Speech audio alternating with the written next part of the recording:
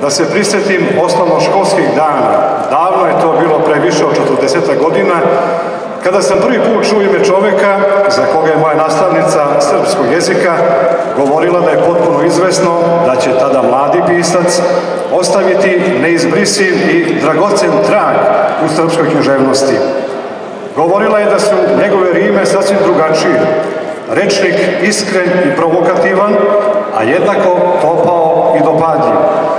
Tada sam zavoleo jednu Anu, ali ona je volela jednog Dunstera Milovana, koji nije imao pojma o ljubavi, baš koliko i ja. Rugali smo se jednom vuku koji ostade nekulturan. Odplovili smo i u Afriku da sadimo papriku. Ozbiljnije pogleda smo na strine i tete, jer igračke nismo i još mnogo, mnogo fazona i fora nauči smo. Ljubivo je Ršomović.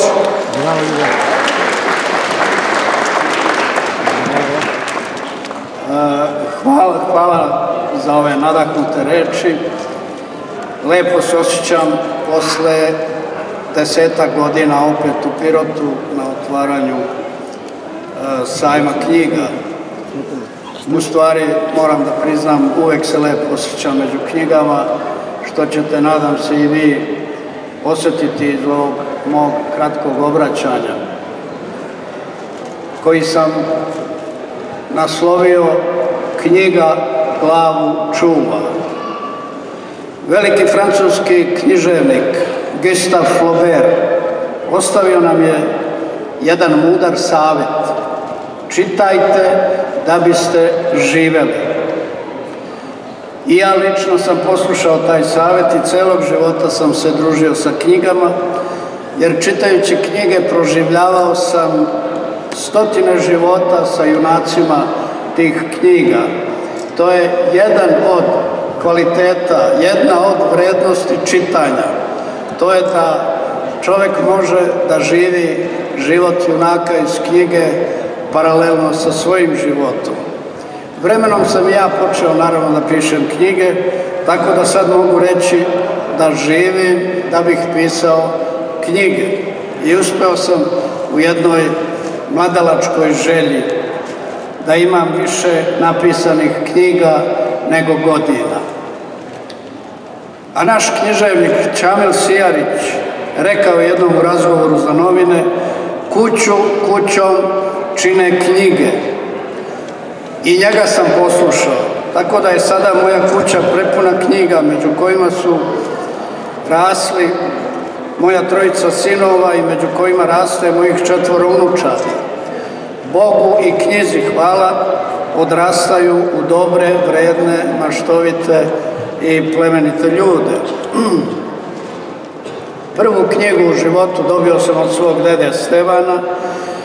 Bila je to druga pevanija, tako se zvala Zmaja Jove Jovanovića, štampana u plavom kolu Srpske književne zadruge pod brojem 23, daleke 1895. godine.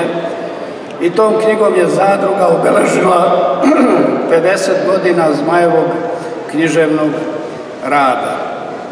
Nije u toj knjizi bilo mnogo pesama za decu, ali je bila jedna koja počinje stihovima Ljubo i ja vidim bližu 60-tu, a žao bi mi bilo da se ne sastanemo još na ovom svetu.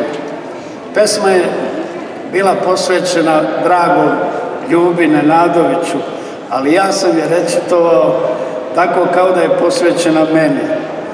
I Zmaj Jova mi je vremenom postajao najbolji drug koji me poziva da se sastanemo, da ukrademo još ponešto od zemlje, jer kako on kaže od ovakve krađe nikom nije štete, meni gospod šapće tako krasti smete.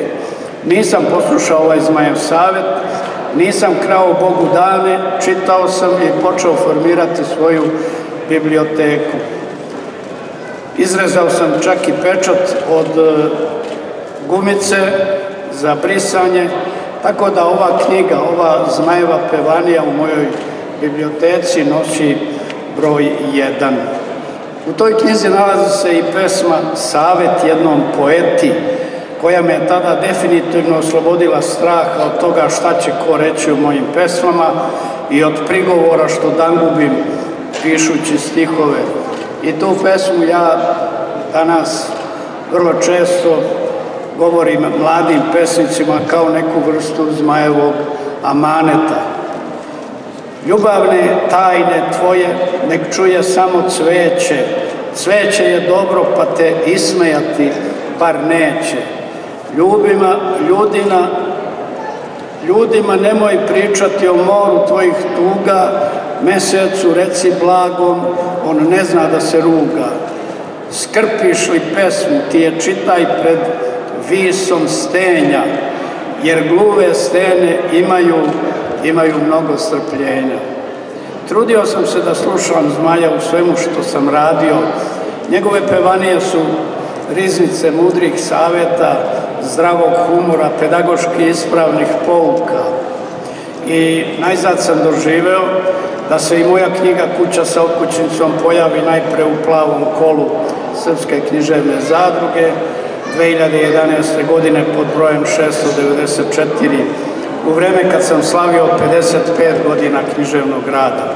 A ove godine kad slavim 60 godina književnog rada u rukama, evo imam drugo izdanje kuće sa okućnicom koje je izdala Laguna iz Beograda. Ne bih naravno želeo da se ovaj moj zapis shvati kao neko hvalisanja, pogotovo ne kao moje samopoređenje sa zmajem. Ovo je u stvari moja pohvala knjizi. Knjizi koja traje preko dve i po hiljade godina. Knjizi koja, ne moramo to sad uh, stavljati pod znak pitanja, koja ne može biti pobeđena od maloletnih kompjutera, tableta i ovih elektronskih spravica koje deca danas koriste. Knjiga će i to nadživeti. Ja se sećam krajem 50-ih, početkom 60-ih godina prošle, prošlog veka, kad se televizija pojavila kao novi medij i novo elektronsko čudo, svi su govorili gotovo je sa filmom, nema više bioskopa, međutim film je preživeo, film se i danas snima, bioskopi i danas postoje. Tako da će knjiga sigurno nadživeti sve. Jer knjiga je, knjiga je, ja bih rekao, velika tajna, ali ne samo tajna, nego i fenomen. Kad neko ili nešto traje toliko, mora se nazvati fenomenom.